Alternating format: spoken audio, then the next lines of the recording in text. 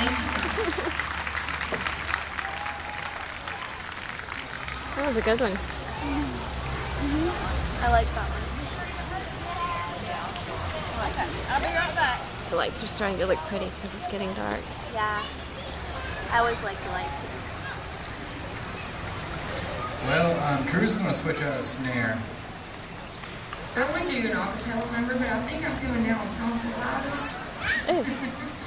Ooh.